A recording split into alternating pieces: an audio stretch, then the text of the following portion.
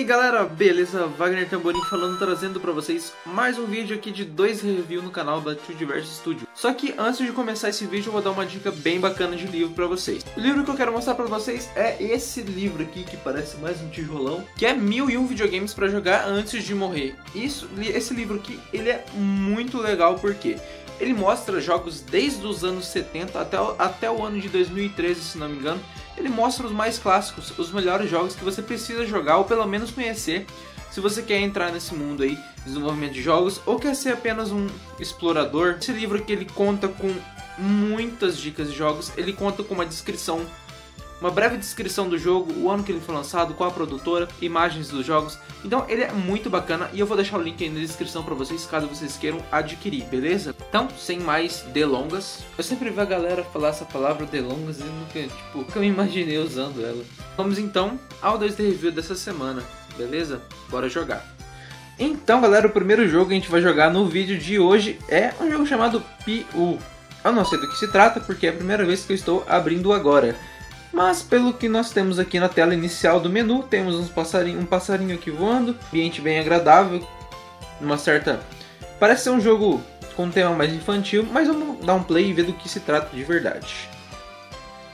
Bom, aqui a gente tem uma, uma historinha inicial explicando aqui que o passarinho saiu do ovo e saiu voar, caiu na cabeça de um urso.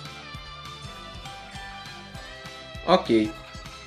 E ele explicou, então provavelmente o objetivo tem, eu tenho aqui duas flechas aqui embaixo. E o objetivo é não deixar os passarinhos caírem, talvez.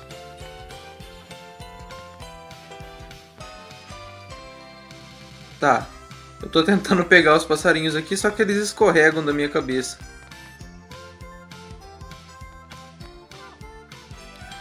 Ok, eu perdi eu não sei qual era o...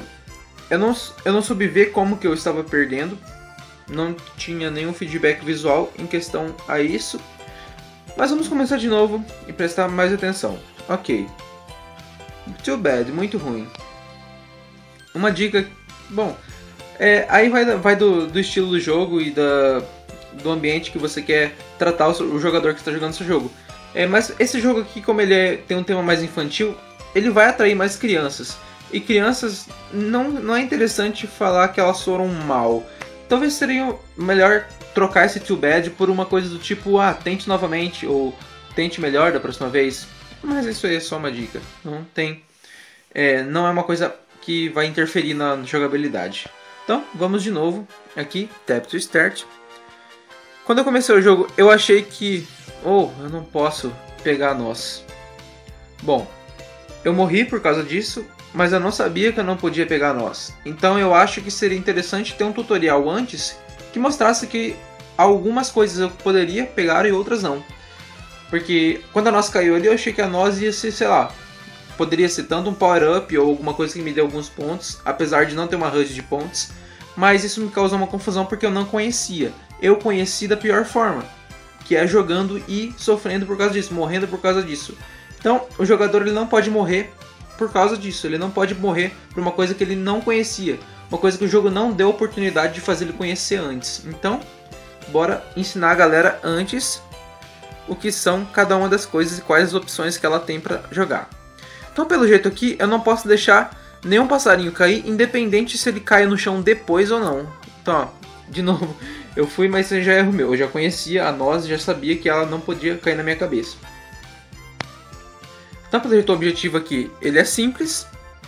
É você pegar os passarinhos e não pegar as nozes que estão caindo. Noz ou avelã. É aquela coisinha que o Scratch da do gelo come.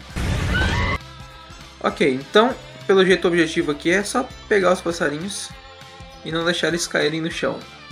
Beleza, a arte está muito bacana, tá bem, tá bem engraçadinho os passarinhos, o layout é, e o, o character design dos passarinhos do urso está bem bacana, estão bem consistentes. Está bem agradável a user interface, está muito legal. É, talvez dá uma melhorada aqui porque eu não consigo enxergar direito. É, o best score, score estão números bem muito pequenininhos. Eu não sei se isso é algum algum erro de adaptação, mas é só dar um mexida nessa fonte e deixar um pouco maior para poder ver melhor. Tá, mas fica a dica aí pra vocês. É um joguinho bem legal para passar o tempo. É, e pelo jeito, pelo público-alvo, é, são de crianças, sei lá, de 8 a, de, até 5 anos pode jogar isso aqui facilmente porque é bem legal. Então, eu vou deixar o link aí na descrição para vocês e vocês baixem e joguem aí e digam o que achou, beleza? Então, bora pro próximo jogo. E galera, o segundo jogo que a gente vai jogar no vídeo de hoje é um jogo chamado Zombie. Então, pela tela inicial aqui, já vejo que o tema é meio de zumbis misturado com coelhos. Até o trocadilho do título já me diz isso. Então, bora jogar e para ver do que se Temos aqui um tutorial que vai nos ensinar o que a gente pode e o que a gente pode fazer. Conheça os Umbit, os invasores da floresta. Você precisa acertá-los para ganhar pontos, vidas e também salvar a todos. Mas não se esqueça, algum, alguns, se algum se escapar você vai perder sua vida. Beleza, a gente tem que matar os zumbis e não deixar eles escaparem. E conheça o Rabbit, são os donos da floresta, eles precisam de ajuda. O seu dever é não acertá-los, simples assim, e se acertar um deles, diga toda a sua vida. Então beleza, pelo jeito eu vou ser um defensor da floresta e vou ter a opção de atirar, tanto no Zumbit quanto no Rabbit. Só que eu preciso acertar os Zumbits e não acertar os Rabbits. Beleza, então bora lá começar. Então nós temos aqui um layout bem bacana 3D, com esse é um Zumbit, consegui um cérebro, aquele é um Rabbit. Então ele é um jogo de reflexos. Igual aquele joguinho é, Pick a Mole, de dar uma martelada nas topeirinhas que saem no chão que existe tanto, tanto digital quanto, quanto na, quando você vai em shopping, tem aqueles arcades com um martelinho e você bate na cabecinha delas. Então, vai ficando cada vez mais rápido. E eu não posso acertar os coelhos. Os coelhos do bem eu não posso acertar. Eu tenho que acertar só esses zumbis que estão saindo aqui.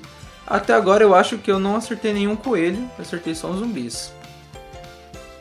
Então, vai ficando muito mais rápido. Então, é um jogo que vai te empolgando cada vez mais. Ó, tá ficando cada vez mais rápido. E é bom para quem quer treinar os reflexos. Quem não tem um reflexo bom vai sofrer um pouco para jogar, mas é bom que já treina. Ok, coelhos aqui. Opa, tá ficando rápido demais. Mas eu acho que eu tô indo bem, tenho, tenho algumas vidas só.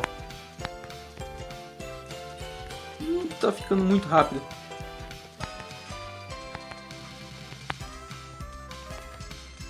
Meu Deus. Tá ficando praticamente impossível agora. Mas pelo jeito você vai recuperando sua... Tiver um bom desempenho no jogo, se você perder suas vidas, você pode recuperá-las.